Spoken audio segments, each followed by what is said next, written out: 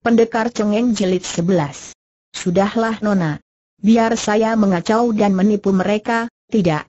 Aliok, kau akan dipanah. Mereka telah memasuki bagian yang gelap dan lebat, menyaksikan betapa Nona ini sangsi dan meragu terdorong oleh rasa khawatir tentang dirinya hati Ye Uli menjadi besar sekali. Perasaan bahagia hebat memenuhi hatinya terdorong cinta kasihnya dan tanpa pikir panjang lagi karena dorongan hasrat hati, ia lalu merangkul leher Shoklan dari belakang, memutar tubuh nona itu sehingga mukanya menghadapinya dan mencium mulut itu sepenuh cinta kasih hatinya, sepenuh getaran jiwanya. Aud, seketika tubuh Shoklan menjadi lemas dan hampir nona ini pingsan dalam pelukan Ye Uli. Pemuda itu sejenak seperti terbuai dan diayun ke langit lapis ketujuh, akan tetapi segera ia teringat akan keadaan dan setelah sadar ia kaget setengah mati akan keberaniannya sendiri yang melampaui segala batas kesopanan. Aduh, mati aku ia melepaskan rangkulannya. Kau ampunkan aku, Nona biarlah kalau aku mati, ciuman itu sebagai bekal ke neraka. Kau larilah sekarang tanpa menanti jawaban lagi, ia mendorong dan terpaksa Shoklan meloncat dari atas kuda kalau tidak mau terguling jatuh, lalu terdengar ia terisak dan menghilang di dalam semak-semak gelap. Aduh, kuda gila, kuda celaka Yeuli berteriak-teriak dan kini membalikan kudanya membalap dan menapaki para pengejarnya. Tentu saja para prajurit menjadi makin panik ketika tiba-tiba derap kaki kuda yang dikejar itu memekik dan menerjang mereka. Mereka mencari tempat perlindungan ke belakang pohon-pohon. Akan tetapi kuda itu ternyata tidak lewat karena telah membelok pula ke kanan. Karena hutan itu gelap, maka para perwira dan pasukannya tidak dapat melihat jelas apakah kedua orang tawanan itu masih berada di atas kuda. Mendengar bentakan dan teriakan Ye Uli, mereka merasa yakin bahwa kedua orang tawanan itu masih di atas kuda. Apalagi mereka itu terbelenggu erat, mana mungkin bisa lari? Maka sambil berteriak-teriak mereka terus mengejar, tidak tahu bahwa yang berada di atas kuda kini tinggal Ye Uli seorang dan tidak tahu pula bahwa kuda itu makin menjauhi tempat di mana tadi Shoklan melompat turun. Bagi Ye Uli, amatlah mudahnya kalau ia mau melompat turun dan melarikan diri. Akan tetapi ia sengaja tidak mau melakukan hal ini, karena kalau ia lakukan hal ini tentu para pasukan akan mengubek hutan itu dan besar bahayanya Shoklan akan ditemukan menikah. Apalagi di situ sudah dekat dengan Tian Anbun yang menjadi markas besar. Lebih baik dia terus mengacau dan mengalihkan perhatian, membawa pasukan jauh dari hutan agar Sholan dapat menyelamatkan diri dengan aman. Aduh aduh. Hei, i, tahan kudaku ia berteriak dan kini karena pasukan sudah terpencar, mulailah ia terkurung. Ketika kudanya mendekati empat orang prajurit yang siap dengan tombak hendak menusuk roboh kuda yang lewat, kaki tangan Yeuli bergerak kacau dan, robohlah empat orang itu, pingsan dan tombak mereka berterbangan. Makin lama, dari sinar obor-obor yang dipasang, para perwira dapat melihat keadaan Ye Uli dan kudanya. Betapa terkejut hati mereka ketika mendapat kenyataan bahwa nona tawanan mereka telah lenyap. Mereka kaget, juga marah. Kalau tadi mereka tidak memerintahkan menghujani anak panah adalah karena mereka menganggap betapa nona tawanan ini amat penting dan tidak baik kalau sampai terbunuh, tapi karena nona tawanan itu lenyap, mereka marah sekali. Kalau hanya ada si pelayan, biar seratus kali mampus juga tidak ada halangannya. Hujani anak panah bentak si perwira muka kuning. Mulailah kuda itu dihujani anak panah ke mana pun juga ia lari.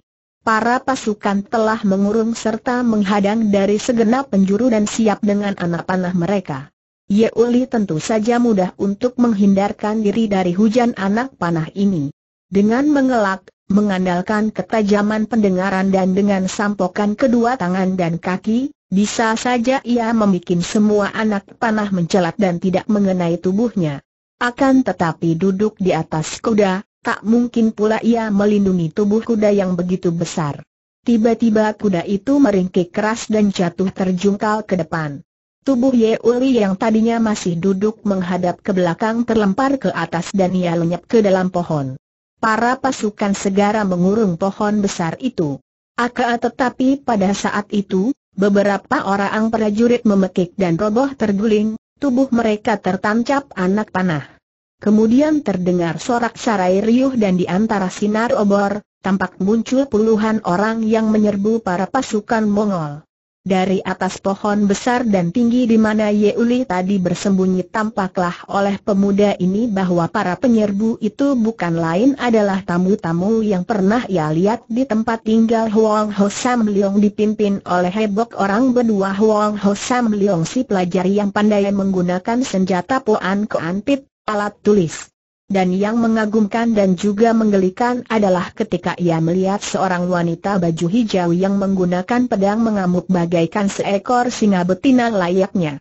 Pedangnya berkelebatan menjadi sinar hijau merupakan serangan maut yang mencengkeram nyawa ke kanan kiri dan lebih hebat serta menggelikan lagi, pantatnya yang amat besar bergerak-gerak dan tiap kali ada lawan menerjang dari belakang, Senggolan pantat besar itu cukup membuat seorang prajurit Mongol terlempar sampai 3-4 meter jauhnya. Dari atas pohon Ye Uli menonton dan menahan ketawanya. Wanita itu bukan lain adalah Cui Toanyo atau Cui Hwa Hwa, wanita galak yang pernah ribut mulut dan ia permalukan di sarang Wang Ho Sam Leong. Betapapun galaknya, ternyata wanita itu adalah seorang pejuang, musuh pemerintah penjajah Mongol yang kini mengamuk bersama kawan-kawannya untuk menolong Shoklan. Dan tak jauh dari situ ia melihat pula tokoh-tokoh yang hadir, akan tetapi ia meraa heran tidak melihat adanya dua orang murid Kim Hang Pai yang bersikap baik terhadap Sholan dan dia, yaitu Pui Tiong dan sucinya, Ken Wei E. Dari atas pohon itu pula Ye Uli kini melihat Shoklan dikeroyok oleh belasan orang penjaga dan diam-diam ia merasa kaget sekali. Kiranya nona ini setelah tadi berhasil ia dorong meloncat turun dari kuda, tidak dapat melarikan diri keluar hutan dan melihat banyak pejuang menyerbu Sholan kini turut mengamuk pula. Hal ini ia tidak herankan, karena ia mengenal watak Shoklan. Sepak terjang gadis itu hebat dan ganas, mengamuk dengan pedang rampasan karena pedangnya telah dirampas musuh. Akan tetapi karena di antara belasan orang pengeroyoknya terdapat perwira muka kuning dan perwira tinggi besar, gadis ini agak terdesak. Perwira tinggi besar bermuka hitam itu bersenjata, berantai yang amat berat dan diputar-putar cepat sekali sampai mengeluarkan suara mengaung. Siok Lan, selalu menggunakan ginkangnya untuk menghindarkan diri setiap kali senjata lawan menyambar karena untuk, ia khawatir pedang rampasannya akan. Adapun perwira muka kuning berseru, aneh, golok yang panjang. Senjata, selain sebagai golok biasa, itu dapat dipergunakan untuk senjata lawan dan dengan gerakan tiba-tiba dapat merampas senjata lawan. Melihat keadaan nona ini Ye Uli lalu melompat dari pohon ke pohon untuk mendekati. Akan tetapi ia melihat bahwa keadaan Sholan tidaklah berbahaya, maka begitu mendengar teriakan kaget Sui Hwa Hwa dan melihat nyonya ini terhuyung ke belakang ketika pundaknya kena serempet gagang toya seorang pengeroyok, perwira tinggi kurus yang liai, ia segera mengayun tangan. Sebuah ranting kecil menyambar, dan perwira tinggi kurus itu berteriak kesakitan dan menjerit sambil mundur-mundur. Ranting kecil itu melukai lehernya dan menyelamatkan Cui Hwa Hwa. Nyonya yang dikeroyok banyak lawan dan hampir celaka, tadi tidak tahu bahwa dia dibantu oleh pelayan yang pernah membuat malu padanya, kini dengan marah sekali pedangnya bergerak ke depan dan sebelum si perwira tinggi kurus dapat menghindar, Pedangnya yang berubah sinar hijau menjadi gulungan sinar melingkar-lingkar ke arah perut dan perwira itu menjerit dan roboh dengan pinggang hampir putus. Ye Uli kembali melanjutkan usahanya mendekati Shoklan namun dari atas pohon itu ia menjadi sibuk sendiri menyaksikan bahwa jumlah penyerbu yang hanya paling banyak 30 orang itu terdesak hebat oleh pasukan Mongol yang jumlahnya tiga kali lebih banyak. Ia masih ingin menyembunyikan keadaan dirinya, apalagi Lan berada di situ, maka kini Uli mulai menyambar ke bawah dengan gerakan cepat, merobohkan beberapa orang tentara Mongol tanpa dilihat siapa pun juga karena saking cepatnya gerakannya, yang tampak hanya bayangan hitam. Kalau ada lawan datang membawa obor terlalu dekat, ia menyelinap atau meloncat ke atas pohon kemudian bergerak lagi di tempat yang gelap. Agak lega hati Ye Uli menyaksikan bahwa para pengeroyok itu rata-rata memiliki ilmu kepandaian silat yang tinggi kalau dibandingkan dengan maka biarpun jumlahnya kalah tetapi masih dapat mengimbangi. Akan tetapi perang tanding dalam hutan gelap yang hanya diterangi obor-obor itu, benar-benar amat mengerikan. Darah membanjir, teriakan-teriakan marah berseling dengan jerit-jerit kesakitan dan pekik-pekik maut, mayat-mayat bergelimpangan. Seperti biasa menyaksikan seperti ini membuat Ye Uli teringat akan keadaan di rumah keluarganya dahulu dan tak terasa pula ia menangis. Suara tangis yang keluar dari kerongkongannya melengking-lengking dan menyeramkan. Dari atas pohon ia melempar-lemparkan batu yang tadi ia ambil dari bawah, membantu Sholan sama sekali tidak ada bahaya bagi gadis ITN menghadapi pengeroyokan banyak lawan. Tiap kali ada bahaya mengancam, tentu si pemegang senjata yang mengancam itu sudah tertotok batu yang menyambar dari tempat gelap. Akan tetapi pada saat itu terdengar suara terompet dan derap kaki kuda. Mendengar suara yang datangnya dari utara ini, Ye Uli cepat meloncat ke atas cabang pohon tertinggi dan memandang. Kagetlah ketika ia menyaksikan dari arah utara datang pasukan membawa obor. Bala bantuan dari Tian Anbun agaknya. Dari atas pohon itu di malam gelap dia hanya melihat obor yang banyak sekali datang dari utara sukarlah menaksir jumlah pasukan yang datang. Akan tetapi menurut dugaan Ye Uli, tentu jauh lebih besar daripada pasukan yang mengawal Sholan tadi dan agaknya tidak akan kurang daripada 2-300 orang. Keadaan berbahaya sekali. Karena hatinya terguncang, kembali lengking dahsyat keluar dari kerongkongannya dan pada saat itu, ia terkejut karena berbareng terdengar bunyi lengking lain di sebelah bawah. Lengking yang nyaring dan dikenalnya baik.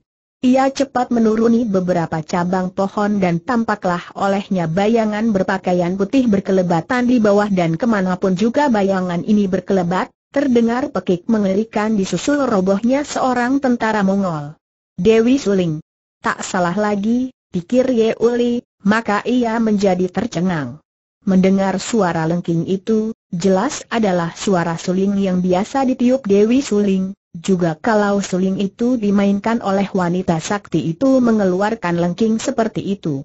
Akan tetapi biarpun ia lihat gerakan bayangan putih itu amat cepat dan amat lihai seperti Dewi Suling tetaplah meragukan, mengapa Dewi Suling mengenakan pakaian putih. Selain itu juga mengapa Dewi Suling menjadi seorang, setidaknya memusuhi tentara Mongol. Dewi Suling adalah seorang sesat, seorang dari kalangan hitam. Ah, mungkin. Ye Uli terhadap pikirannya.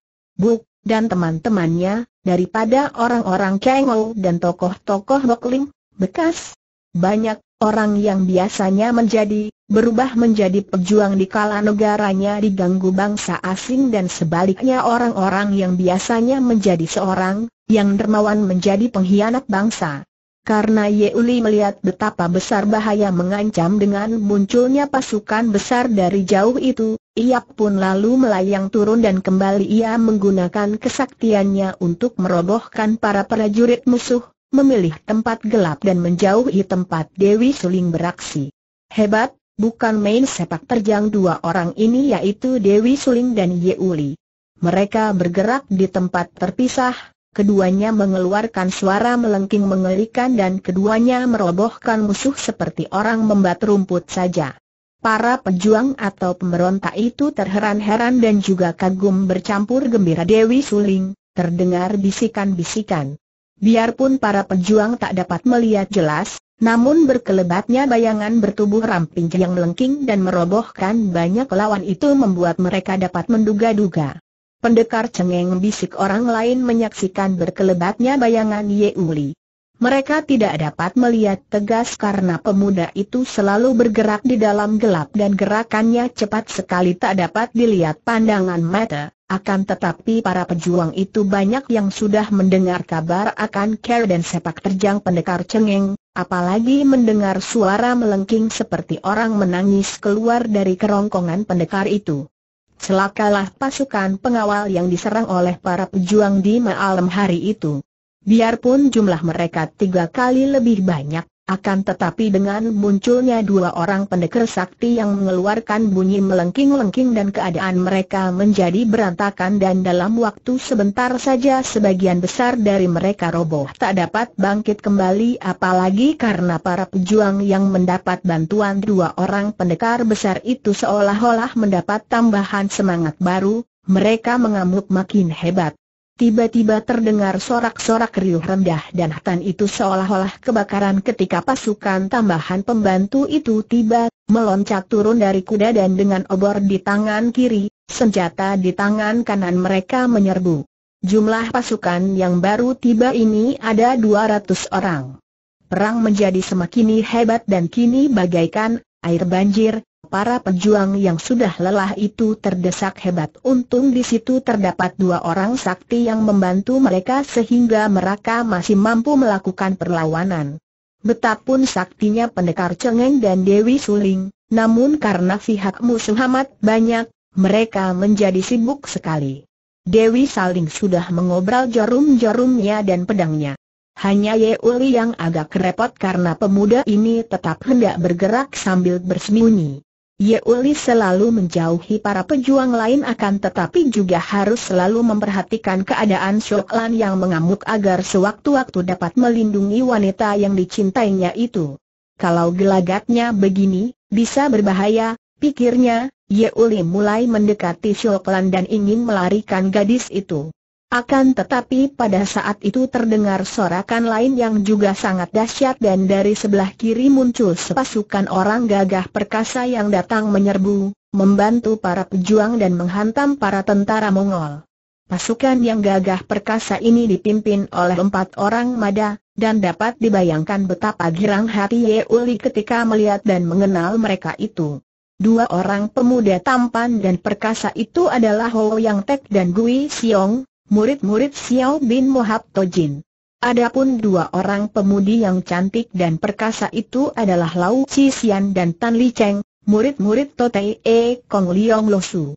Adapun hampir seratus orang pasukan perkasa yang dipimpin empat orang muda itu benar-benar hebat dan bertempur dengan semangut yang amat tinggi. Keadaan perang kecil di dalam hutan itu berubah-ubah. Tadinya pihak Mongol terdesak hebat dan lebih dari setengah jumlah pasukan tewas di tangan tiga puluhan orang pejuang pimpinan Iegok orang termuda Wong Ho Sam Leong yang diam-diam dibantu oleh pendekar Cengeng dan Dewi Suling. Kemudian pihak pejuang terancam bahaya kehancuran ketika tiba 200 orang pasukan Mongol yang datang dari Tian Anbun.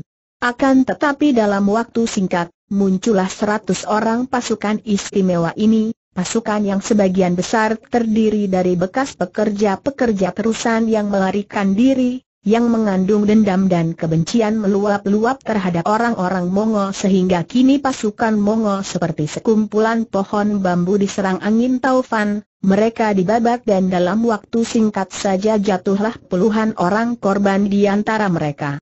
Ouyang Tek tidak mengenal pasukan kecil yang ia bantu, akan tetapi karena pasukan kecil yang gagah perkasa itu berperang melawan tentara Mongolia menganggap mereka itu teman-teman seperjuangan dan begitu mendengar dari penyelidik bahwa di hutan itu terjadi perang, ia lalu memimpin pasukannya untuk menyerbu dan membantu pasukan kecil itu. Ketika mendengar suara melengking-lengking dan amukan dua orang yang bergerak seperti setan sehingga tidak tampak jelas orangnya, Yang Tek, Gui Song Tan Li Cheng dan Lau Chi Sian menjadi terkejut, dan juga girang. Mereka dapat mengenal lengking dan gerakan pendekar cengeng. Akan tetapi mereka juga bingung dan menduga-duga siapa adanya wanita perkasa yang mengamuk itu. Melihat gerakannya yang lihat dan mendengar suara melengking dari suling yang dipegangnya, tidak salah lagi bahwa wanita itu tentulah Dewi Suling. Mereka menduga-duga dan terheran-heran, akan tetapi karena Dewi Suling pada saat itu bertanding memusuhi pasukan Mongol, tentu saja mereka menganggapnya tidak sebagai musuh. Munculnya pasukan yang dipimpin empat orang muda perkasa ini mempercepat jalannya perang. Sebagian besar pasukan musuh roboh binasa dan sisanya lalu melarikan diri berlindung pada kegelapan hutan itu. Ye Utai Hiap Sungguh beruntung dapat bertemu dengan Tai Hiap di sini terdengar Ro Uang Tek berkata. Pendekar Cengeng. Pendekar Cengeng tanda seru nama ini disebut-sebut oleh para pasukan pejuang. Siok Lan yang sudah tidak bertempur lagi mendengar disebutnya nama ini terkejut sekali ia tadi memang mendengar surah melengking-lengking dan melihat berkelebatnya dua bayangan seperti iblis cepatnya. Ia sudah menduga-duga akan tetapi belum merasa yakin siapa gerangan dua orang aneh itu. Karena tadi ia dikeroyok banyak sekali musuh, tentu saja ia tidak mendapat kesempatan untuk meneliti. Kini mendengar debutnya Ye Utai Hiap dan pendekar cengeng wajahnya menjadi berubah dan jantungnya berdebar-debar. Benarkah tunangannya itu yang tadi mengamuk dan mengeluarkan suara melengking? Tunangannya yang selama ini mengabaikannya dan yang ia cari untuk diajak bertandirik untuk menebus penghinaan? Cepat ia meloncat menghampiri untuk mencari dan menjumpai orang yang dicari-carinya itu. Akan tetapi ia hanya melihat berkelebatnya bayangan cepat sekali menghilang di daerah hutan yang gelap, dan mendengar suara orang laki-laki yang berpengaruh. Kedua saudara Ouyang dan Gui. Kedua Nona Lau dan Tan. Selamat bertemu dan berjuang. Maaf, saya ada urusan lain, sampai jumpa bayangan itu pun lenyap dari tempat itu. Siok Lan termenung merasa seperti kenal suara ini, ia merasa penasaran lalu meloncat mengerahkan ginkangnya mengejar di tengah hutan ke mana bayangan itu tadi berkelebat. Bayangan yang mengamuk dan menggunakan suling sambil mengeluarkan suara melengking tadi memang Majini Mauatan Chiu Xiao Xian Li si Dewi Suling. Kini di bawah sinar banak obor, Dewi Suling menghadapi Owi Yang Tek, Gui Siong, Luau Chi Sian dan Li Cheng yang berdiri berjajar menghadapinya dengan pandangan mata penuh selidik. Dewi Suling tersenyum dan cepat ia mengangkat kedua tangan ke depan dada sambil berkata, Sungguh merupakan karma Tian bahwa malam ini saya dapat berjumpa dengan Jiwi Kong Chu dan Jiwi Chia sebagai teman-teman seperjuangan empat orang maga itu memang sudah mendengar akan sepak terjang Dewi Suling selama ini yang menjadi buah bibir kaum Kang Ou karena perubahannya luar biasa. Mereka merasa tidak senang kepada wanita yang dahulunya menjadi musuhnya ini, akan tetapi karena harus diakui bahwa saat itu mereka bukanlah musuh melainkan teman seperjuangan melawan penjajah, mereka terpaksa membalas penghormatan, bahkan Tan Li Cheng yang terpandai membawa sikap di antara mereka segera berkata, kami sudah mendengar akan sepak terjang Cici selama ini. Syukurlah wajah Dewi Suling berubah merah karena merasa jengah akan tetapi di dalam hatinya ia memuji Tan Li Cheng yang tidak banyak bicara.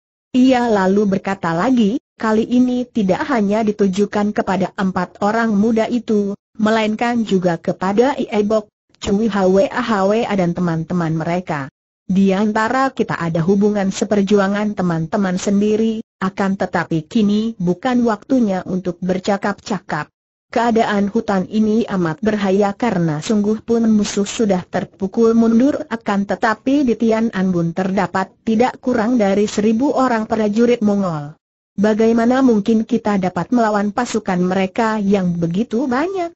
Karena itu, menurut pendapatku, sekiranya kita memasuki daerah hutan di sebelah barat, karena daerah itu hutannya amat luas daerah pegunungan, mudah bagi kita untuk bersembunyi sambil melakukan penyerbuan-serbuan mendadak ke Tian Bun An. Menurut pendapat saya, kalau saudara-saudara sekalian setuju, sekarang ini juga kita berangkat ke sana memencarkan diri dan bertemu di Ga yang berada di dalam hutan sebelah barat, kira-kira 20 li jauhnya dari, pertama. Amat baik tempat ini dijadikan markas, selain lebak juga banyak terdapat guha-guha besar. Semua orang menyatakan setuju. Memang pertempuran melawan tentara Mongol yang amat besar jumlahnya tadi menyatukan mereka tanpa janji lebih dahulu, yaitu pasukan yang dipimpin Iebok dan Cui Hwa dan pasukan bekas pekerja paksa yang dipimpin empat orang muda perkasa. Beramai-ramai berangkatlah mereka sambil membawa teman-teman yang terluka dalam pertempuran tadi meninggalkan teman-teman yang tewas karena memang keadaan menghendaki demikian. Dalam perjalanan ini, mulailah mereka berkenalan. Iebok mengirim seorang, untuk menyampaikan berita tentang perang semalam dan tentang rencana pasukan mereka pergi ke hutan sebelah barat Tian An Bun kepada kedua orang saudaranya yang masih bermarkas di tepi sungai Wong Ho agar mereka dapat saling berhubungan dan saling membantu. Semalam suntuk pasukan pejuang ini menyusup-nyusup di antara hutan dan pegunungan, berpencar akan tetapi tidak terpisah jauh sehingga mereka dapat saling mengetahui keadaan kawan memberi isyarat bunyi-bunyi burung.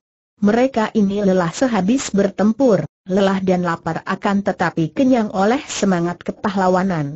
Hanya mereka yang pernah berjuang saja, hanya mereka yang pernah menderita dalam melaksanakan cita-cita mulia saja yang dapat merasa berapa di dalam keadaan bersama ini terdapatlah sesuatu yang nikmat dan bahagia yang mengatasi semua penderitaan jasmani. Aliok. Aliok tanda seru Sholan mencari-cari di dalam hutan sambil berkali-kali memanggil nama pelayannya. Hatinya amat risau, Sungguh pun besar harapannya bahwa pelayannya itu masih hidup dan berada di dalam hutan. Bukankah tadi ketika ia didorong turun oleh pelayannya itu, Aliok masih berada di atas kuda dan tiba-tiba pecah pertempuran karena munculnya Cui Hwa Hwa dan yang lain-lain. Tidak mungkin pelayannya itu ditawan karena sudah jelas bahwa pihak musuh terpukul mundur bahkan banyak yang tewas. Akan tetapi bagaimana kalau Aliok terbunuh oleh musuh? Hatinya makin gelisah dan kini ia mencari-cari sambil memanggil-manggil, juga melihat-lihat kalau pelayannya itu sudah menggeletak tak bernyawa lagi di dalam hutan. Mengingat akan ke situ tubuhnya menggigil dan terngiang bisikan ucapan pelayannya sebelum mereka berpisah. Aku mencinta Nona dengan seluruh jiwa ragaku. Hati Sholan terharu. Ia tidak meragukan lagi cinta kasih pelayannya terhadap dirinya.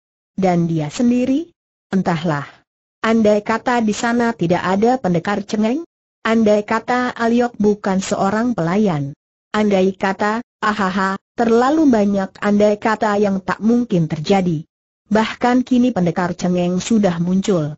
Ia tadi mengejar sekuat tenaga, mengerahkan ginkangnya, namun ia melihat betapa bayangan pendekar cengeng itu berkelebat bagaikan terbang cepatnya dan sebentar saja lenyap dari pandangan matanya.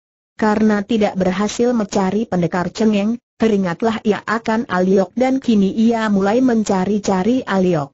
Ia melihat betapa para pejuang yang tadinya menggempur pasukan Mongol itu meninggalkan hutan. Ia sesungguhnya harus berterima kasih kepada mereka karena tanpa adanya mereka itu, tentu ia sudah binasa di bawah pengeroyokan para pasukan Mongol, atau setidaknya tentu akan tertawan lagi. Bahkan wanita galak Cui Hwa Hwa itu telah menolongnya. Akan tetapi ia tidak sempat menjumpai mereka. Pertama karena ia tadi mencari pendekar cengeng, dan sekarang, sebelumnya ia dapat menemukan pelayannya, ia tidak akan berhenti mencari dan tidak akan menjumpai mereka. Aliok Aliok Shokan memanggil dengan memakai kedua telapak tangannya untuk mendekap kanan kiri mulutnya sehingga suara panggilannya bergema di seluruh hutan itu. Kegelapan mulai menipis, terdesak oleh munculnya fajar. Aliok harapan Shokan menipis pula dan hampir ia menangis kalau teringat betapa besar kemungkinan pelayannya itu terbunuh musuh. Teringat akan hal ini, baru terasa olehnya betapa baiknya Aliok selama ini. Betapa akan berat hatinya kalau harus berpisah dan benar-benar ditinggal mati oleh pemuda itu. Aliok panggilannya mula mengandung isak tangis tertahan. Teringat Shoklan betapa Aliok pernah mencium mulutnya dan teringat akan hal ini tak tertahankan lagi air mata bercucuran. Apa kata pemuda itu setelah menciumnya semesra itu? Kau ampunkan aku, Nona. Biarlah kalau aku mati, Ciuman itu sebagai bekal ke neraka Aliok Shoklan menjatuhkan diri di bawah sebatang pohon, terisak-isak. Kiranya pemuda itu sudah merasa dah akan mati sehingga berani menciumnya seperti itu. Ciuman yang selama ia hidup belum pernah ia alami atau ia terima dari orang lain, bahkan tak juga dari ayah bundanya. Ciuman penuh kasih sayang seorang pria. Dan kini teringat ia menerima ciuman itu bukan dengan hati marah atau benci atau jijik melainkan dengan jantung berdebar tegang dan bahagia, bahkan sekarang pun hatinya menggelora teringat akan ciuman Aliok itu. Akak tetapi pemuda itu kini sudah tidak ada, besar kemungkinannya sudah tewas. Makin mengguguk tangis Siok Lan dan baru sekarang ia mengakui dalam hatinya bahkan ia mencinta pemuda itu, mencinta Aliok pelayannya. Aliok. Aduh, Aliok, hu, hu hu hu hu. Baru sekali ini Siok Lan, darah perkasa yang berhati baja dan tidak pernah mengenal takut itu menangis terseduh-seduh. Nona, Nona Shoklan yang sedang menangis itu tiba-tiba tersentak kaget menoleh ke kanan ke kiri dengan mata terbelalak, mata yang merah dan pipi yang basah. Alio ia berbisik, setengah tidak percaya akan pendengarannya sendiri. Nona Sholan kembali terdengar suara itu perlahan akan tetapi jelas sekali, seperti terbawa angin lalu, bercampur dengan bunyi kokok ayam hutan dan kicau burung. Aliok bagaikan digetarkan tenaga dahsyat Sholan mencelat bangun, matanya terbelalak bersinar-sinar, pipinya berseri, dua butir air mata masih bergantung pada bulu matanya. Aliok, di mana engkau aku di sini? Nona suara itu datangnya dari kanan. Siok Lan hampir bersorak, hampir menari dan dengan suara ketawa ditahan ia lalu mencelat ke kanan terus menggunakan ginkangnya lari ke arah datangnya suara. Aliok di mana engkau teriaknya lagi? Di sini, Nona tanda seru suara Aliok itu datangnya dari atas. Siok Lan menengadah dan alangkah girang hatinya ketika ia melihat pemuda pelayannya itu nongkrong di atas pohon yang amat tinggi, di cabang tertinggi dan kelihatannya takut akan tetapi tangan kirinya mengempit seekor ayam hutan yang gemuk sekali. Eh, bagaimana kau bisa berada di situ? Turunlah aku, aku tidak berani turun. Siok Lan tertawa, suara ketawanya nyaring dan tiba-tiba tubuhnya terayun ke atas dan berloncatanlah ia dari cabang ke cabang sampai tiba di cabang yang diduduki Aliok. Pemuda ini melihat nonanya tertawa-tawa dengan senyum lebar pipinya merah berseri akan tetapi pipi di bawah mata masih ada tanda air mata. Hatinya terharu bukan main, tergetar dan Aliok menangis sesenggukan. Aih, Kau, kenapa? Saya, saya terlalu girang, Nona, Soalan tersenyum, lalu mengempit pinggang pelayannya itu, dibawa loncat turun dengan gerakan ringan sekali. Setibanya di atas tanah, lengan kanan Aliok masih merangkul lehernya sedangkan tangan kiri pelayan itu mengempit ayam. Sejenak mereka saling rangkul, saling pandang dengan sinar mata seperti dalam mimpi, Kemudian Sholan teringat dan melepaskan lengannya yang merangkul pinggang, mukanya merah sekali, matanya mendelik dan mulutnya setengah tersenyum setengah merenggut. Kau, kau kenapa? Gilakah eh, Nona, kenapa, kenapa sih Sholan dengan muka merah mendorong perlahan dada pemuda itu dengan jari tangannya sehingga Ye Uli mundur tiga langkah. Kau, kau berhutang banyak persoalan kepadaku yang harus kau bayar kau harus jawab satu-satu dan awas ya. Jangan bohong dan main-main gadis yang tadi menangisi Aliok ini setelah sekarang berhadapan, segera menyembunyikan perasaan hatinya dan mengambil sikap yang sesuai sebagai seorang nona majikan terhadap seorang pelayannya. Betapapun juga, ia merasa jengah dan malu untuk membuka rahasia hatinya begitu saja. Diam-diam Ye Uli tertawa di dalam hati dan rasa kasih sayangnya terhadap nona ini makin menggelora dan mesra. Tadi secara diam-diam ia mengikuti Sok Lan dan sudah menyaksikan semua sikap gadis itu yang menangisinya. Karena itulah ia menjadi terharu dan ikut menangis.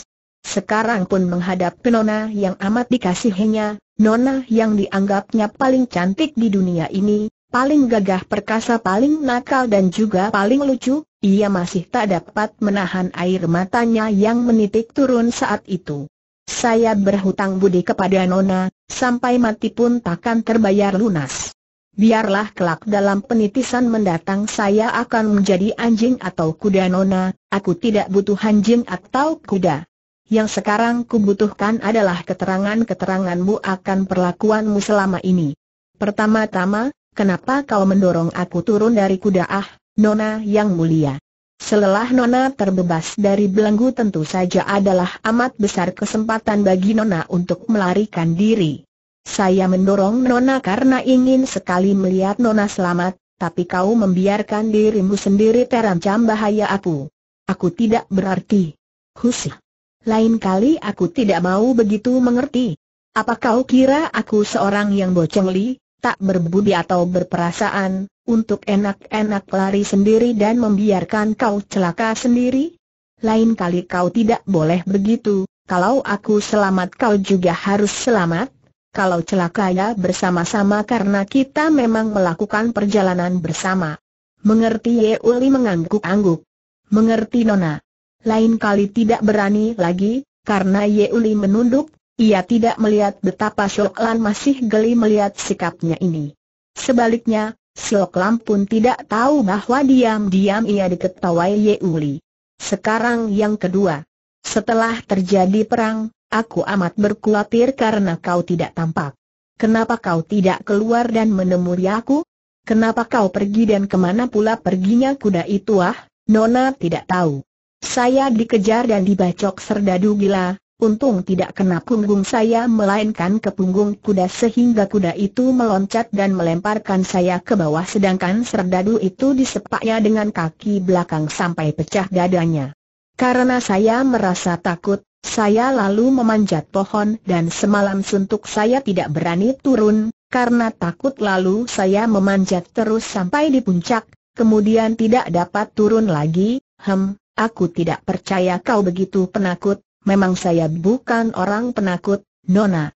Akan tetapi saya mempunyai kelemahan terhadap tempat yang tinggi. Saya menjadi pening dan takut sekali, hem, kau bilang takut di pucuk ponon. Kenapa bila memegang ayam hutan begitu gemuk Ye Uli tertawa, wah, memang Tian itu adil, Nona. Agaknya memang orang yang baik seperti Nona selalu diberi berkah sehingga tiada hujan tiada angin ada ayam menghampiri saya untuk saya panggang dagingnya dan persembahan pada Nona. Malam tadi ketika saya bersembunyi di atas sana, Mungkin karena bingung dan takut mendengar pertempuran dan melihat obor, ayam ini terbang lalu menabrak cabang di dekat saya menggelepar dan pingsan sehingga mudah saya tangkap biarlah saya sembelih dia dan panggang dagingnya untuk Nona bawa sebagai bekal menyusul rombongan pejuang yang menuju ke pegunungan di sebelah barat kota Tian Anbun. Ih, apa kau bilang? Mau apa aku ke sana? Aku hendak mencari pendekar cengeng. Kau tahu Aliok hampir saja aku dapat berhadapan dengan pendekar cengeng malam tadi. Aliok tersenyum dan mengangguk. Saya tahu, Nona, hei, engkau tahu saya tahu karena Yeu Kongcu telah menemui saya sebelum Nona datang. Ketika saya bersembunyi di atas pohon belum lama tadi tiba-tiba saja Yeu Kongcu muncul di depan saya di atas pohon ini dan Yeu Kongcu yang menceritakan pada saya tentang semua keadaan, hem, di mana dia? Aku mengejar dan mencarinya, Aliok katakan, di mana dia mau apakah Nona mencarinya mau apa lagi? Aliok, tidak usah kau pura-pura tanya lagi, hayo katakan di mana dia agar dapat kutemui sekarang juga, Yeuli menarik napas panjang dan menggelengkan kepala. Nona, Yeu Kong Chu tadi telah berbicara dengan saya dan telah saya katakan tentang kehendak Nona. Kemudian Yeu Kong Chu memberi keterangan sejelasnya kepada saya, harap Nona suka mendengarkan, Aliok sesungguhnya engkau berpihak kepada siapa sekarang Ye Uli memandang kaget dan hatinya sedih melihat betapa suara mesra lenyap dari mata bening itu, terganti sinar marah. Tentu saja saya berpihak kepada Nona, akan tetapi, Yeu Kong Chu tidak memusuhi Nona, di, dia bahkan ingin berbaik kepada Nona. Dia menerangkan bahwa tentang pesan ikatan jodoh itu dia sama sekali tidak tahu, sama sekali tidak pernah mendengar dari mendiang keluarganya. Karena itu, dia berpesan kepada saya agar menyampaikan permintaan maafnya kepada Nona, dan dia kelak hendak pergi mencari orang tua Nona dan menghadap, aku tidak butuh kasihannya. Di mana dia Nona, harap dengarkan lebih dulu. Saya tidak tahu ke mana dia pergi karena dia hanya meninggalkan pesan begini. Yaitu bahwa tempat ini amat berbahaya dan bahwa Nona diminta segera pergi menyusul para pejuang ke pegunungan di sebelah barat Tian An Bun. Menurut Yeu Kongcu, tempat ini akan diserbu ribuan orang musuh maka Nona harus cepat-cepat pergi hari ini juga. Kongcu sendiri pasti akan menggabung ke sana, maka diharap Nona suka menanti di sana karena Kongcu masih mempunyai beberapa urusan yang harus DL selesaikan. Percayakah, Nona? Yeu Kongcu bukan seorang pembohong dan saya yakin bahwa sekali waktu dia akan menemui Nona di sana untuk bercakap-cakap dan membereskan semua urusan. Siok Lan mengerutkan keningnya. Memang tidak bisa menyalahkan Aliok. Pula, ia mendengar betapa anehnya pendekar cengeng, tentu saja tidak mungkin bagi Aliok, untuk mengetahui tempat sembunyi pendekar itu. Dia sendiri tadi sudah menyaksikan kehebatan gerakan pendekar itu yang seakan-akan pandai menghilang ketika dikejarnya. Sementara itu Aliok sudah mencabuti bulu ayam hutan yang telah ia, kemudian membuat api dan memangang dagingnya. Bau sedap gurih mengganggu perut Shoklan yang seketika menjadi lapar sekali. Kau sendiri akan ke mana, Aliok setelah Nona makan dan berangkat ke sana, harap Nona suka bergabung dengan para pejuang. Saya sendiri telah diminta oleh Yeu Kong Chu untuk menghadang di depan pintu gerbang Tian An Bun sesudah serbuan malam nanti, apa? Malah mendekati Tian An Bun sarang musuh Yeu Liao tersenyum. Nona masih belum mengenal sepak terjang Kong Chu yang sukar dimengerti. Akan tetapi percayalah Nona. Kalau Kong Chu menyerbu ke Tian An Bun, tentu dia mempunyai alasan yang amat penting. Maka sebaiknya Nona menanti. Saya yang tanggung bahwa kalau urusan orang-orang Mongol ini selesai, pasti Kongcu akan mencari dan menemui Nona untuk diajak membereskan semua urusan yang ada di antara Nona dan dia, Soalan termenung dan diam saja. Kalau keadaan sudah seperti itu, ia dapat berbuat apakah? Mencari dan menyusul. Ke mana? Ketianan Bun? Seperti mencari mati. Memang lebih baik menunggu. Seperti apakah pendekar cengeng yang lihai itu? Ia memandang pelayannya dan diam-diam timbul rasa kasihan di hatinya. Bagaimana nanti dengan hubungan cinta kasih yang bersemi di hati mereka? Daging ayam hutan itu sudah matang dan Yeuli memberikannya kepada Shoklan. Bawalah ini sebagai bekal, Nona.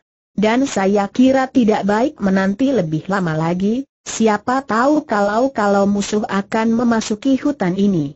Harap Nona segera berangkat dari sini menuju ke barat, kira-kira 50 li jauhnya lalu memblok ke utara. Akan tampak pegunungan sambung menyambung dan berangkatlah Nona mendaki pegunungan itu. Mereka berada di puncak gunung ketiga, dalam sebuah hutan dan dari atas puncak itu tampak kota Tian An Bun. Nah sampai jumpa kembali, Nona, Siok Lan memasukkan panggang ayam ke buntalan pakaian, Kemudian ia bertanya meragu, kapan kita dapat bertemu, Alio? Tidak akan lama. Saya akan mendesak Kong Chu agar cepat-cepat menyusul ke sana Nona. Setelah menghela napas panjang Shok Lan meloncat dan pergi meninggal Nan Yeuli yang memandangnya dengan sinar mata penuh kasih sayang. Siapakah gerangan dua orang sakti yang malam itu membantu para pejuang dan menghancurkan pasukan Mongol dengan sepak terjang mereka yang menyeramkan sambil melengking-lengking mengerikan itu? Seorang di antara mereka tentu pembaca dapat menduganya, yaitu bukan lain adalah Yeu Li si pendekar cengang sendiri. Akan tetapi orang kedua yang menjadi bayangan putih, siapakah dia?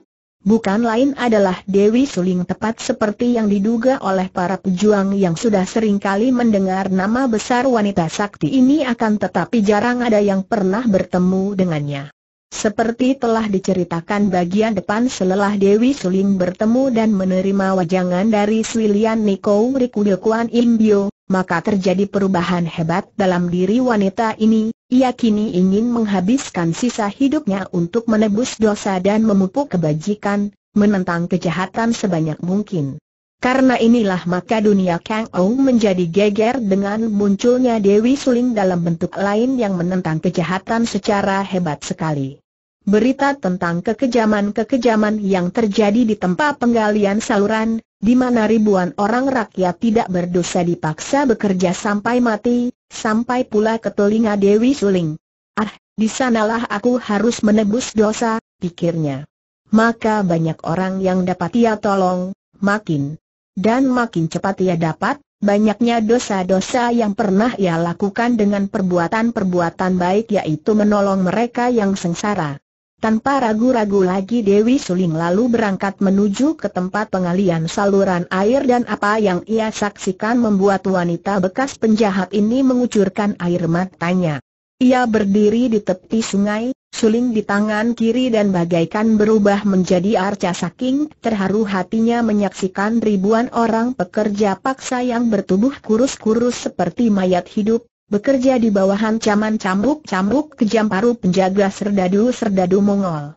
Ia melihat rakyat dengan tubuh kurus kecil mengangkat batu-batu yang lebih berat daripada tubuh mereka sendiri, mengangkut balok-balok besar, menyeberang air yang dalam, terjerumus, tenggelam terhimpit, mati kelaparan, mati kelelahan dan mati oleh hantaman cambuk bertubi-tubi atau pukulan dan bacokan golok para penjaga. Mayat mereka yang mati dikubur begitu saja di pasir sungai. Dewi Suling dahulu adalah seorang penjahat, akan tetapi belum pernah ia menyaksikan kekejian seperti ini. Dalam ia suka membunuh orang karena marah, atau karena tidak ingin rahasianya disiarkan orang, atau karena orang itu musuhnya namun semua pembunuhan yang dilakukan tentu ada sebabnya terdorong oleh darah panas. Sebaliknya apa yang ia lihat dan dilakukan sekarang ini adalah penyembelihan. Siksaan dan penyembelihan yang dilakukan dengan darah dingin. Ia bergidik ngeri. Berdebah. Jahanam keji iblis neraka ia menyumpah-nyumpah sambil mengepal tinju dan menggenggam sulingnya rat-rat. Ingin ia pada saat itu juga mengamuk, membunuhi para penjaga yang seperti anjing-anjing kelaparan menyiksa kelinci-kelinci yang tak berdaya. Akan tetapi Dewi Suling menahan kemarahannya. Betapapun juga, dia bukanlah seorang wanita yang bodoh dan neket. Ia tahu bahwa kalau ia turun tangan ia tidak akan berhasil menolong orang-orang yang sengsara itu, bahkan tak mungkin ia melawan ratusan orang penjaga yang bersenjata lengkap itu. Dari saat itu, mulailah Dewi Suling berubah menjadi hantu pengacau daerah penggalian terusan. Setiap malam tentu ada penjaga yang tewas di tangannya. Sepak terjangnya menggemparkan, datang dan pergi seperti siluman saja dan setiap ada penjaga yang memisah diri dari kawan-kawannya tentu akan menjadi korban di tangan maut Dewi Suling. Bahkan pernah dalam waktu semalam saja membunuh belasan orang penjaga dengan jarum, suling dan tangannya. Beberapa hari kemudian, Kenyataan lain dibuat Dewi Suling menjadi lebih marah lagi. Ia telah mendengar akan kekejian para penjaga yang menangkapi wanita-wanita muda untuk diseret ke dalam markas mereka, dijadikan mangsa para perwira seperti domba-domba muda diseret masuk ke kandang penuh oleh harimau-harimau kelaparan. Ia telah mendengar tentang perkosaan-perkosaan yang lebih mengerikan dan hebat daripada penyembelihan kaum kerja paksa. Ia mendengar pula betapa jeritan dan raung setiap malam membubung ke angkasa keluar dari mulut wanita-wanita yang dikurung dalam markas. Akan tetapi markas itu terlalu kuat. Dindingnya terlalu tebal dan tinggi, penjaga amat kuatnya sehingga tidaklah mungkin bagi Dewi Suling untuk menyelinap atau menyerbu masuk. Sudah beberapa hari ia tidak lagi mengancam para penjaga di sekitar tempat penggalian melainkan berkeliaran di luar markas di Tian Anbun karena di tempat inilah ia melihat belasan orang gadis muda diseret masuk pagi kemarin. Namun belum juga ia berhasil memasuki markas sehingga hatinya menjadi kesal. Akhirnya pada malam ketiga Dewi Suling menjadi nekat. Ia memilih dinding di mana terdapat sebatang pohon di dekatnya. Dengan gintangnya yang istimewa, tubuhnya melayang ke atas pohon seperti seekor burung saja. Kegelapan malam melindungi bayangannya dan pada saat para peronda lewat, ia menggenjot tubuhnya dari cabang teratas mencelat ke atas dinding markas. Dari sini tubuhnya melayang ke atas genteng kemudian mendekam, lalu menyelinap dan berindap-indap memasang metu dan telinga ke arah bawah. Kota Tian Anbun adalah pusat yang dijadikan markas besar para pasukan yang bertugas menjadi pelaksana dari penjaga para pekerja paksa pembuat saluran besar itu. Pasukan yang berada di kota ini tidak kurang dari 1.500 orang. Di benteng ini, yang menjadi panglimanya adalah seorang panglima Mongol yang bertubuh tinggi besar bertenaga kuat, bermuka penuh berwok dan terkenal keras memegang peraturan terhadap para pekerja. Panglima ini sebenarnya bukan seorang Mongol Tulen, melainkan seorang peranakan. Akan tetapi sudah lazim di dunia ini bahwa si anjing lebih galak daripada tuannya, si pejabat lebih galak daripada atasannya dan antek-antek lebih jahat daripada majikannya. Oleh karena itu, Panglima Im pun lebih bersifat Mongol daripada si Mongol yang asli, yaitu para penjajah, lagaknya seolah-olah dialah keturunan Jengis Khan, pendiri kerajaan Mongol. Nama panglima ini adalah Ban Chiang dan julukannya adalah Tyler Kwe Iong, Raja Iblis bertenaga dahsyat. Sebagai pelaksana yang bertugas menyelesaikan pembuatan saluran, dia menggunakan tangan besi dan dia sendiri sudah menyatakan bahwa kalau perlu agar saluran itu berhasil diselesaikan, ia akan menggunakan mayat-mayat rakyat pekerja paksa sebagai dasar saluran. Di samping tangan besi ini, Banci yang amat pandai menyenangkan hati para perwira pembantunya, memang inilah keistimewaannya sehingga ia cepat sekali dapat mencapai kedudukan tinggi. Ia pandai menjilat atasan, pandai membujuk bawahan untuk menjadi terkenal sehingga segala pelaporan mengenai dirinya ke istana selalu baik dan menyenangkan. Untuk menyenangkan hati para perwiranya inilah Banci yang tidak segan-segan untuk menangkapi wanita-wanita ini muda setiap hari, bahkan ia menggunakan serombongan pasukan yang tugasnya menangkap dan menyeret wanita-wanita muda sampai pula ke dusun-dusun untuk dibawa ke Tayan Anbun dan dipergunakan menjamu para perwira pembantunya setelah lebih dulu memilih yang tercantik untuk diri sendiri.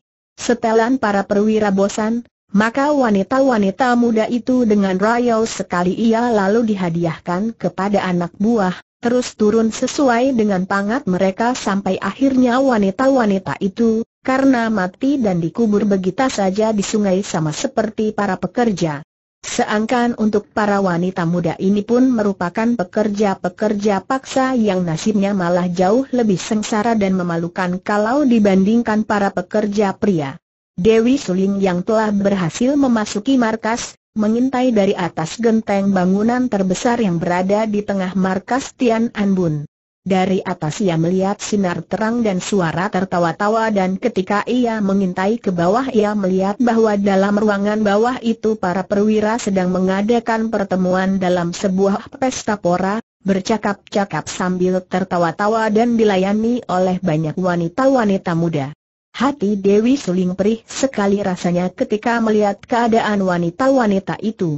Jelas bahwa wanita itu adalah orang-orang yang sedang menderita batin, wajah mereka yang cantik-cantik dan muda itu pucat dan seluruh gerak-gerik mereka membayangkan kelelahan, kedukaan dan keputusasaan yang menyedihkan.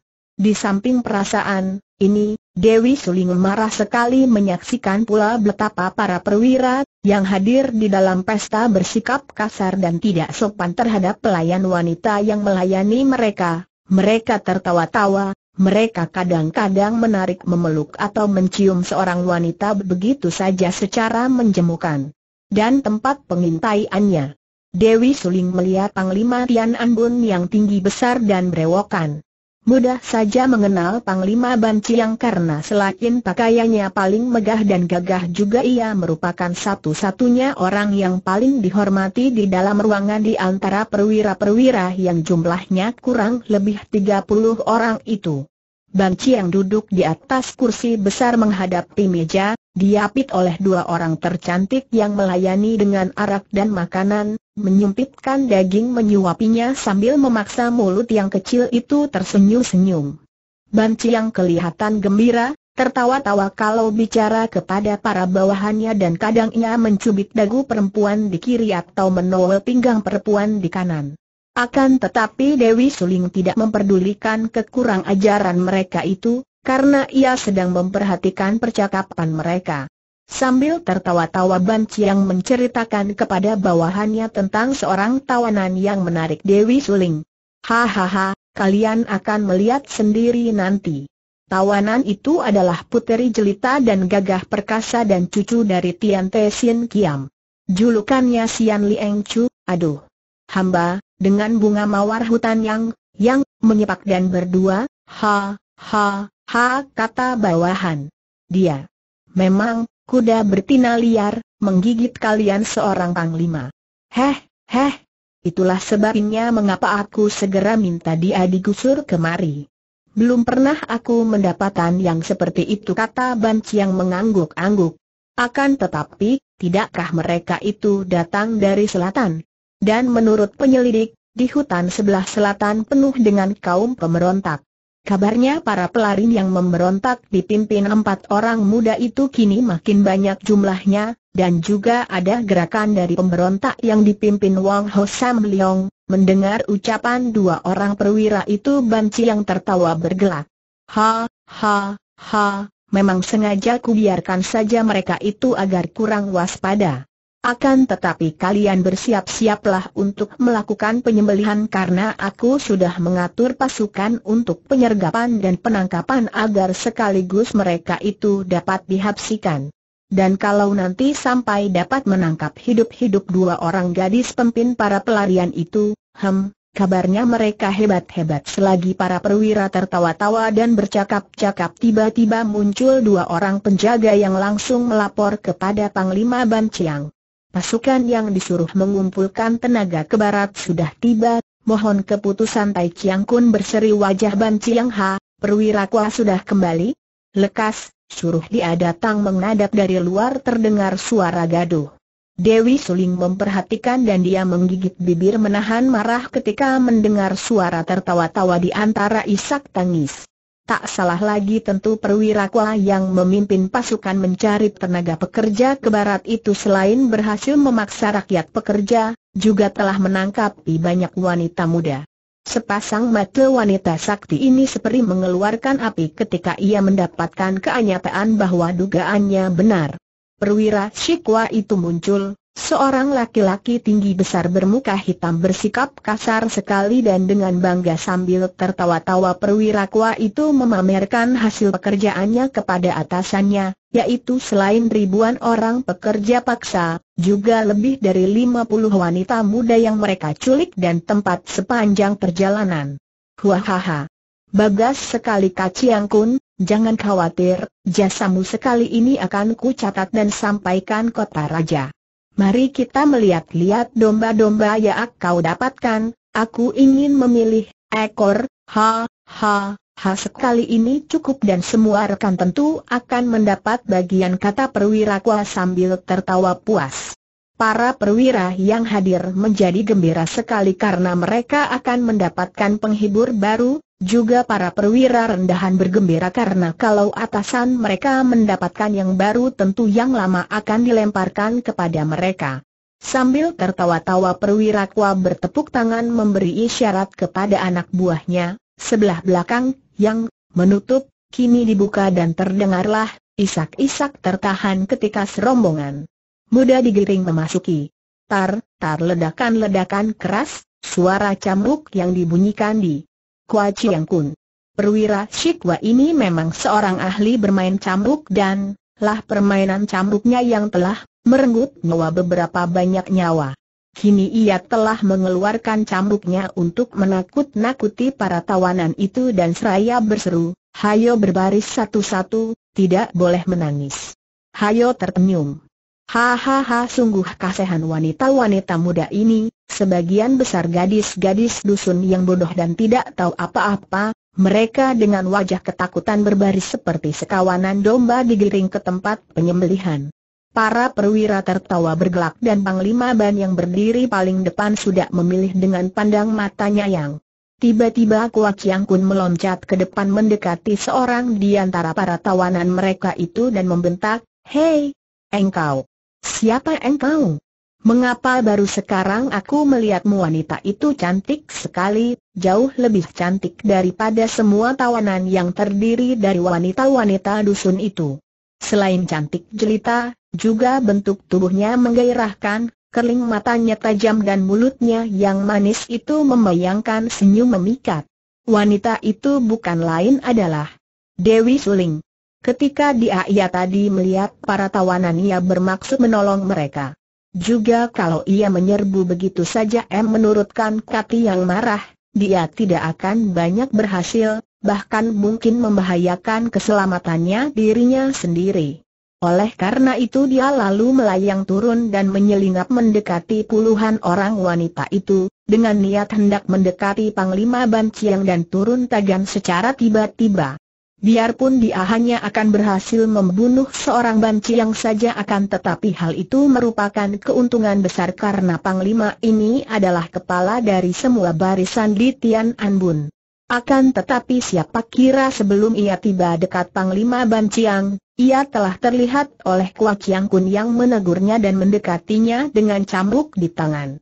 Dewi Suling memasang aksi, tersenyum main-main dan berkata dengan suara merdu. Tentu saja, mana seorang Yak Chiang Kun mengenal seorang rendah seperti hamba. Hamba selalu bersembunyi di antara teman-teman wanita, Kua Chiang Kun tercengang. Wanita ini terlalu cantik untuk tidak terlihat olehnya sebelumnya, sikapnya terlalu manis, amat mencurikan. Tar-tar cambuknya berbunyi keras dan berubah menjadi segulung sinar hitam yang menyambar-nyambar dari atas. Dewi Suling terkejut sekali, akan tetapi ia masih dapat menahan hatinya dan berpura-pura ketakutan ketika cambuk menyambar. Tahu-tahu cambuk itu ujungnya telah melibat tubuhnya, membuat kedua lengannya terbelenggu. Hal ini terjadi tanpa ia rasakan, kulitnya tidak terluka dan bajunya tidak robek. Hal ini saja sudah membuktikan betapa ampuhnya cambuk ini dan betapa pandainya Kuat Chiang Kun bermain cambuk. Hayo engkau ikut bersamaku lebih dahulu Kuat Chiang Kun menarik gagang cambuknya sehingga tubuh Dewi Suling tertarik keluar dari barisan wanita eh, Kuat Chiang Kun, hendak kau bawa ke mana dia? Wah wah, dia paling cantik di antara semua. Berikan dia padaku, Ciang Kun terdengar suara Panglima Ban Chiang dan hati Dewi Suling berdebar girang. Inilah yang diharapkannya. Akan tetapi alangkah mendongkol hatinya ketika ia mendengar Kua Chiang Kun menjawab, Maaf, Pak Chiang Kun. Saya tidak berani melepaskan wanita ini sebelum memeriksanya. Dia mencurigakan, siapa tahu akan mendatangkan bahaya. Kalau sudah saya periksa dan ternyata tidak apa-apa tentu akan saya antarkan kepada Chiang Kun selelah memberi hormat. Kua Chiang Kun menarik cambuknya dan membentak kepada Dewi Suling. Hayo, kau ikut aku sebentar aku dipilih Ching Kun, kenapa kan menghalang? Cis, tak tahu malu Dewi Suling mencoba untuk membantah dengan kata-kata, akan tetapi perwira tinggi besar itu sudah menyeret cambuknya sehingga Dewi Suling terpaksa menggerakkan kaki mengikutinya, ditertawai oleh para perwira lain yang menyaksikan adegan ini dengan gembira. Kua Chiang pun jangan sampai lecet kulitnya yang halus. Sayang kata seorang perwira. Kalau dia mata-mata, serahkan kepadaku saja teriak perwira kedua. Kua Chiang pun tertawa bergelak hahaha jangan kalian mimpi, kawan-kawan.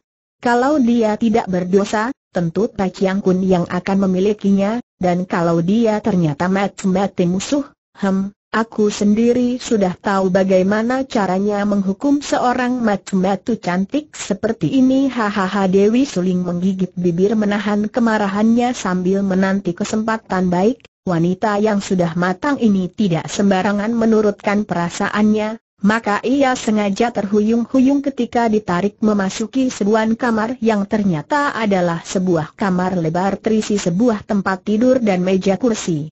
Dengan kerling matanya, Dewi Suling melihat beapa ketika perwira tinggi besar muka hitam itu menutupkan pintu kamar, ada beberapa orang perwira dengan muka menyeringai benda di luar kamar, agaknya hendak mengintai.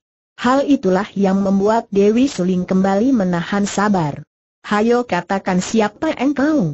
Engkau matu-matu kaum pemberontak yang dikirim mereka dan sengaja menyelundup masuk Tian An Bun, ya?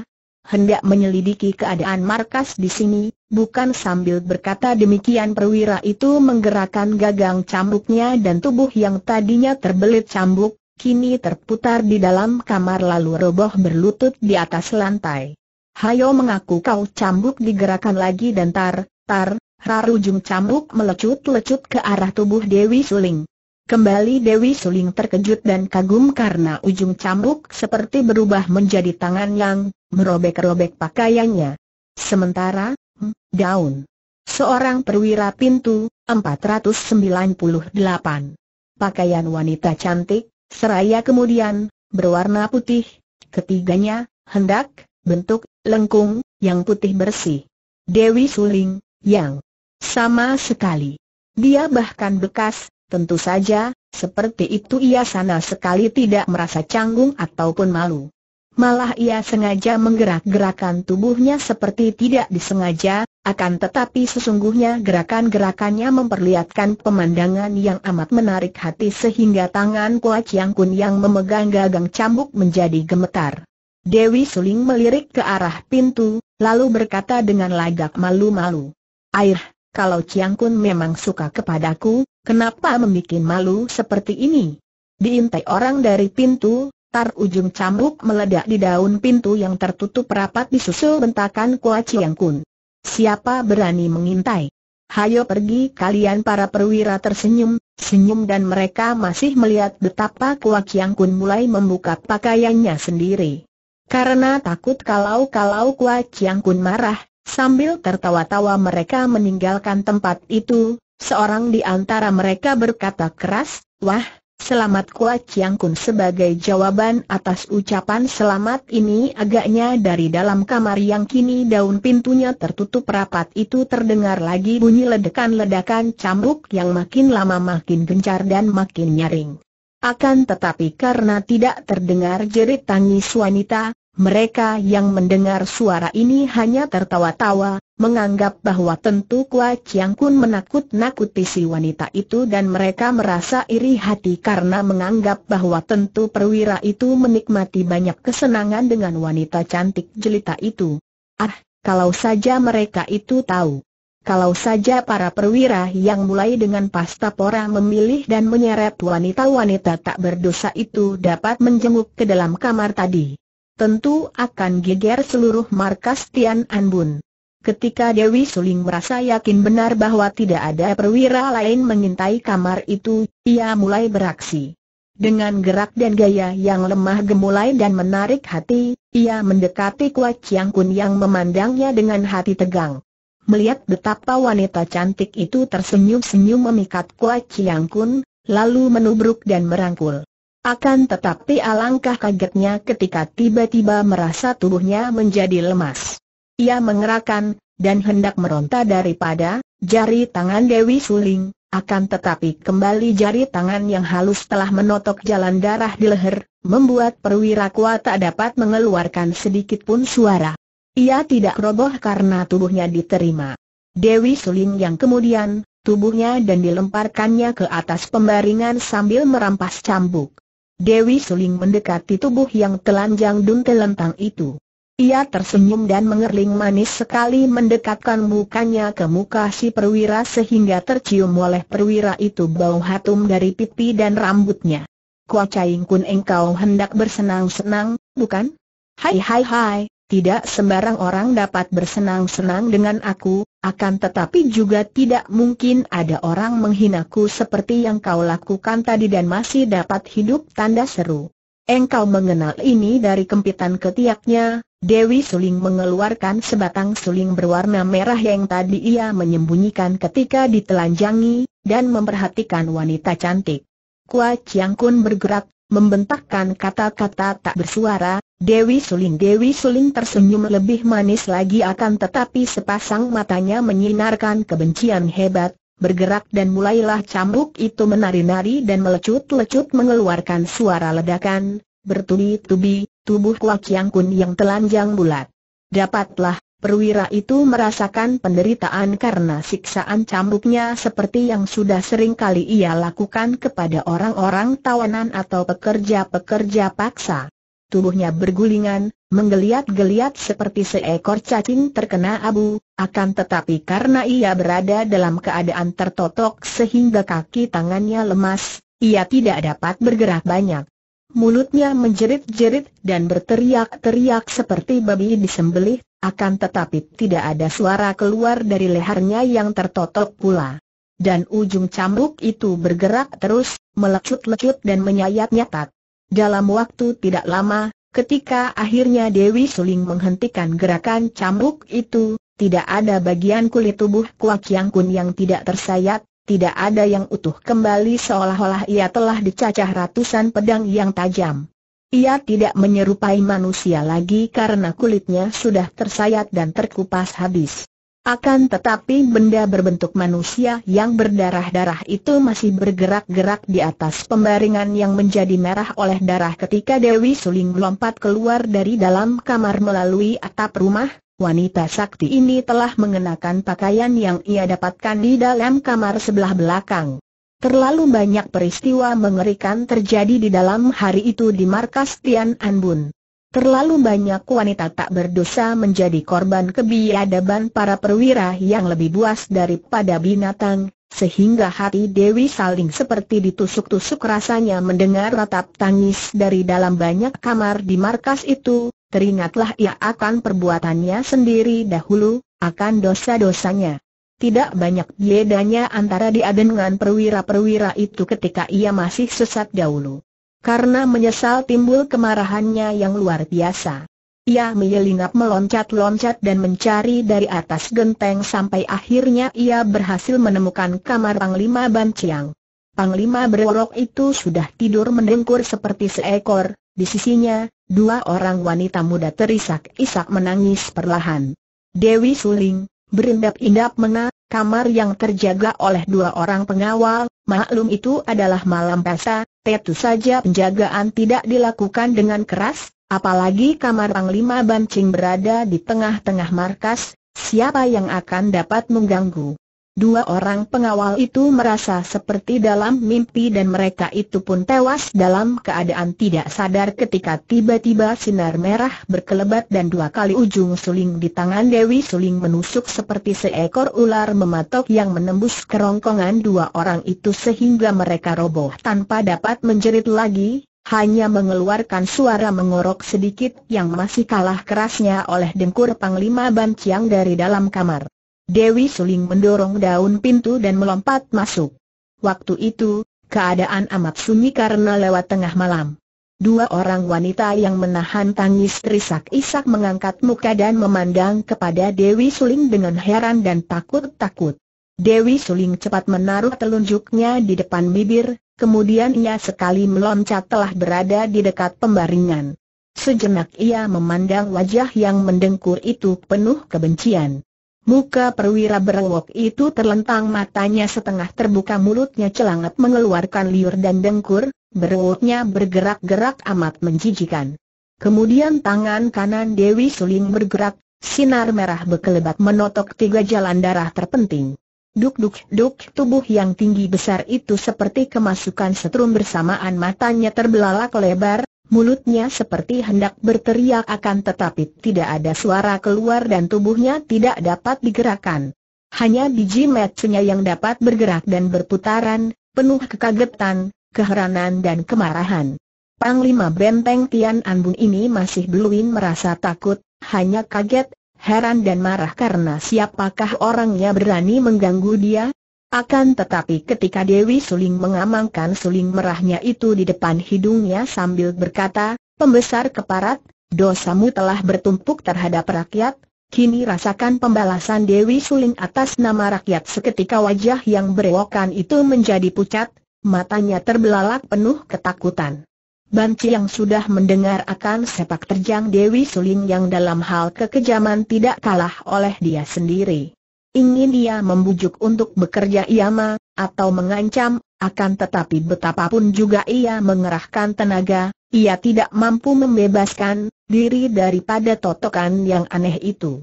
Melihat sinar takut membayang di muka Panglima itu, Dewi Suling tertawa, kemudian tangannya mengangkat dan mencengkeraman tangan kirinya sudah membekap erat-erat tengkuk pembesar itu.